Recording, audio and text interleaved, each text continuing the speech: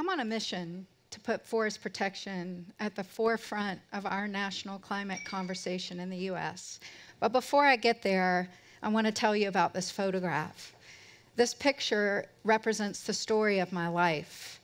This is a simple black and white photograph, but it's one of my most prized possessions. It's a picture of me with my parents walking down a dirt road in the middle of a forest off the island of Daufuskie just off the coast of South Carolina, across the river from where I grew up. I was fortunate enough to be raised as a free range wild child uh, in the low country of South Carolina. And uh, when I look at this picture, I remember a time when I was so connected to nature.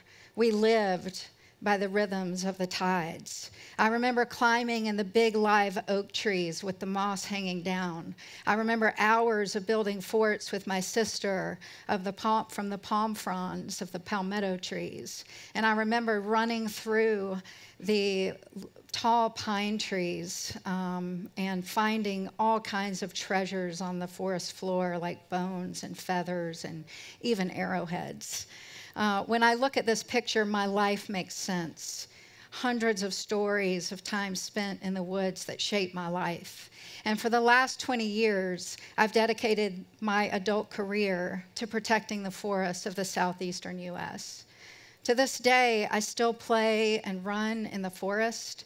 And as an adult, I've grown to appreciate the forest as a place where I can escape the digital, industrial, and technological world that has dominated human society for the last hundred years. I know that I'm not alone in terms of my relationship to the forest. I was re- reminded of this just in July when I was at a for- forest uh, storytelling event in Durham where a dozen or so people got up on stage and told their own personal stories about forests.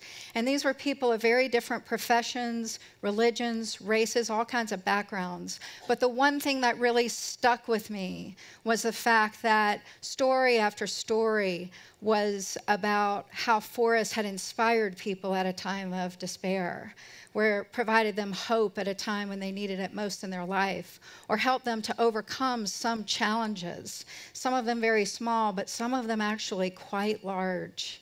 And I know each of you in the room today probably has your own story to tell about how forests have inspired you in some way. We live in one of the most challenging moments in the history of humanity. We are facing one of the biggest challenges we've ever faced. Climate change is real. Humans are causing it.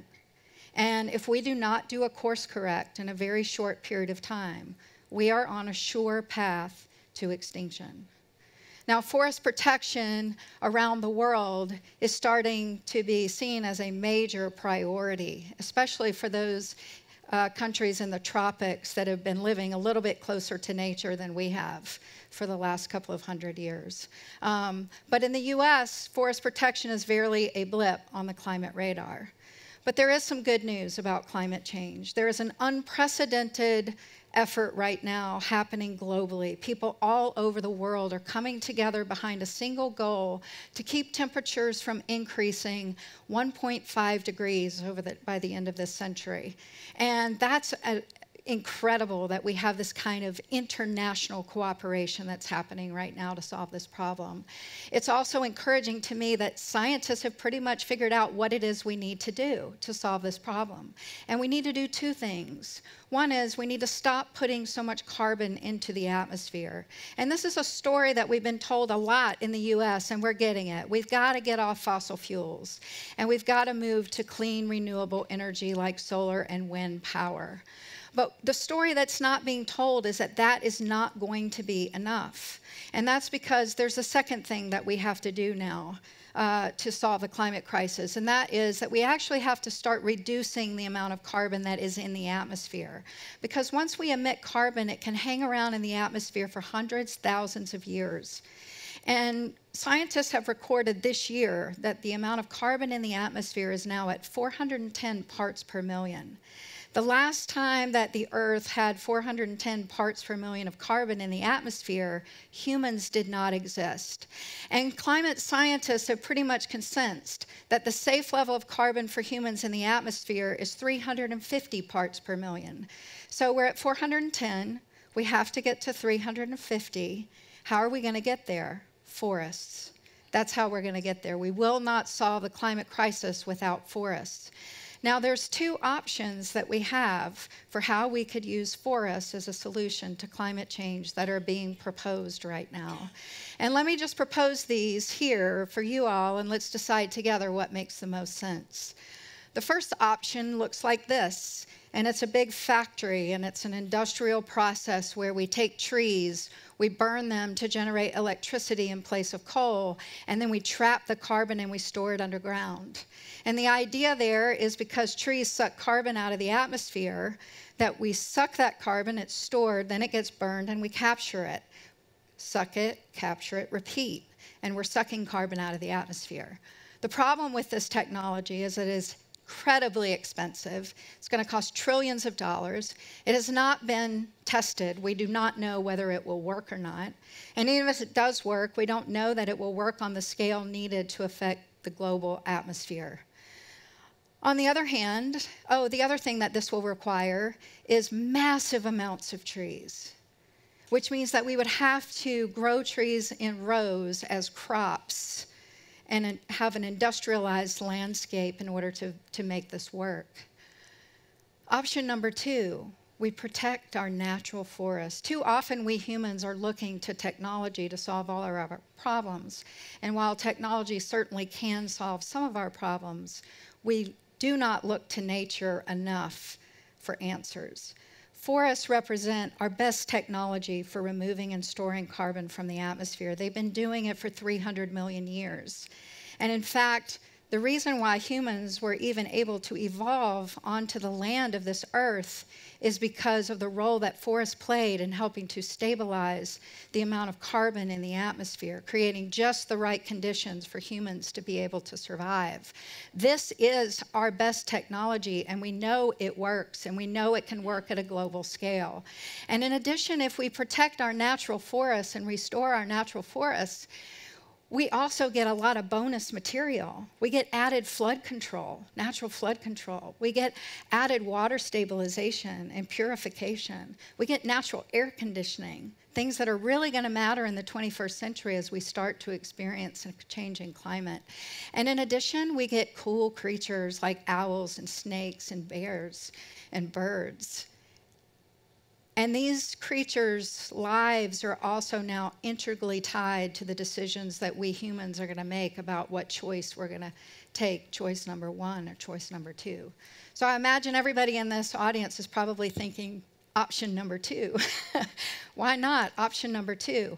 Well, I think the thing that we have to realize is that the scale up of forest protection is a really big idea right? We as humans for the last couple hundred years have not been doing a very good job of protecting much of the Earth's forests. So this requires us to really rethink a lot of things. It requires us to shift the way that we value what's important. And we have to start recognizing the value of nature. Now, I'm about to tell you some stories about forest destruction in our own backyard that are not being told right now. Because while in the tropics they're scaling up forest protection as a climate solution, we haven't quite yet gotten it yet in the US that we have a huge problem in our own backyard. In 2014, scientists produced for the first time global maps of forest cover loss around the world using satellite imagery data. The dark purple represents those areas that are highest rates of forest cover loss. And you can see that the United States has a lot of dark purple. And in particular, in the United States, you can see that the dark purple is in the southeastern coastal plain of the US.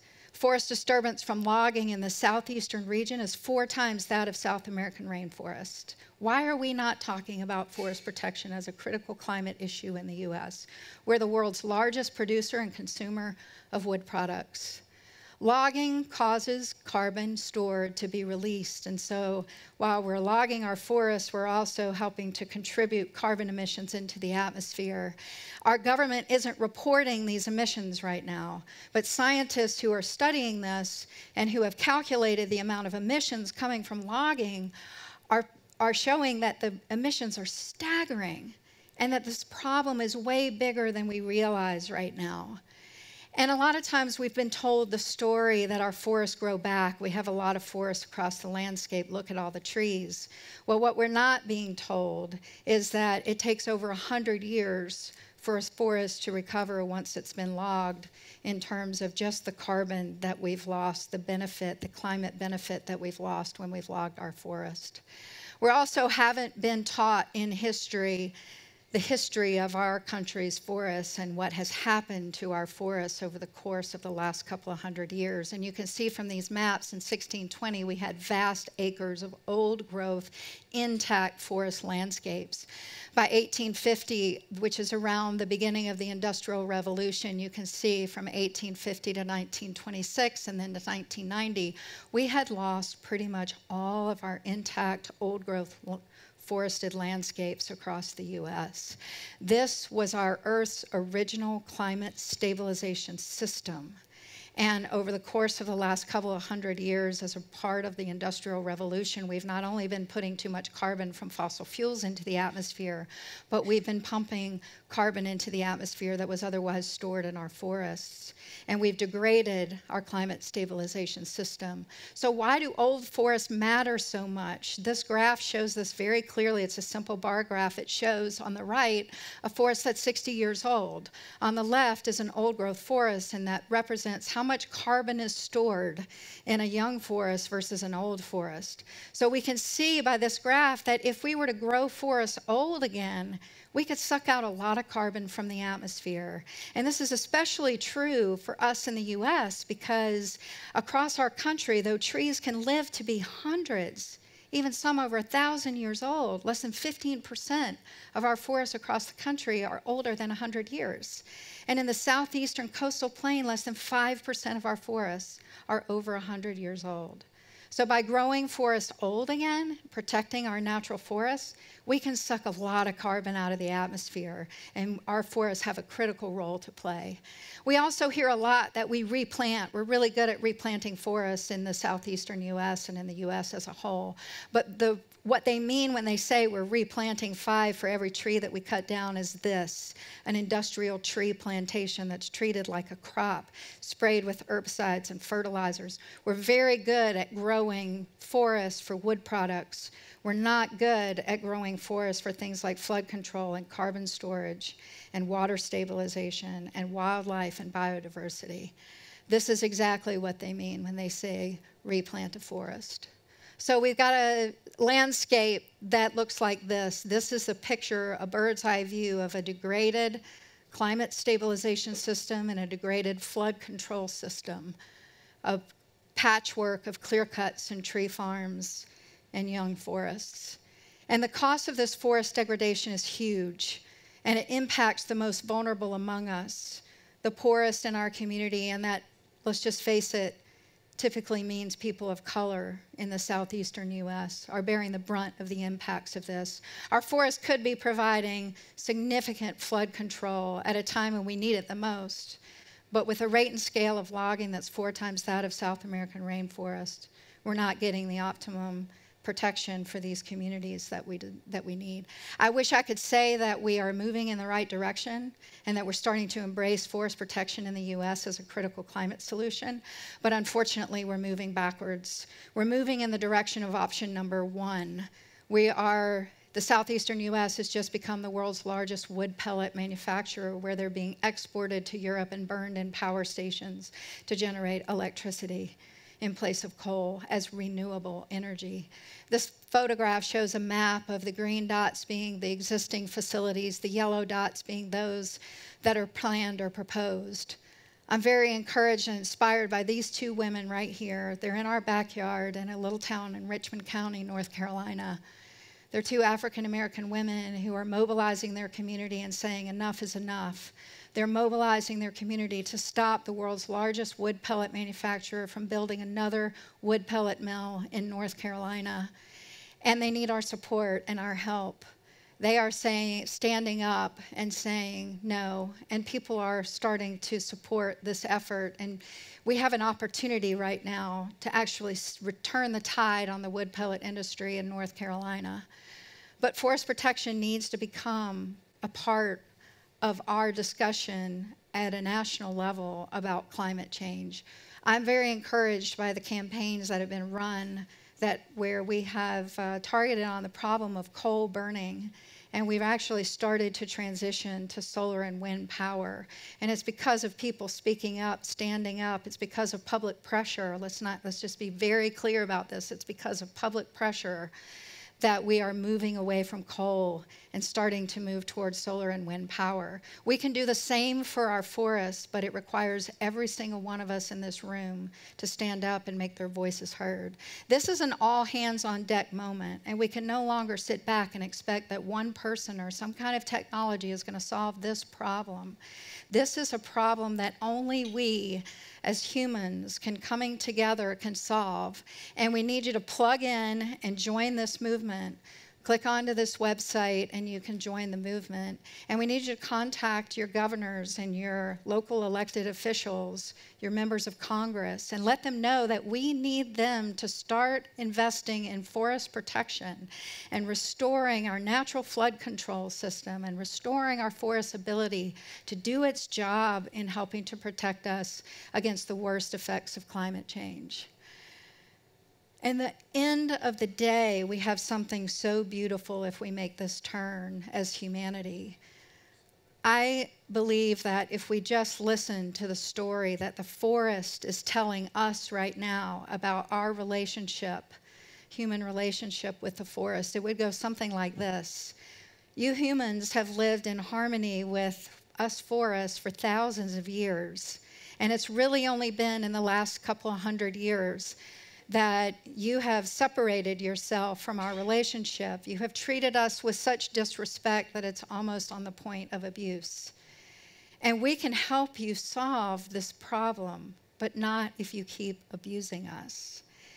If you let us grow old and wild again, we can ensure that humans can continue to thrive on this planet into the next century and we can ensure that generations to come can find their own inspiring stories in the forest.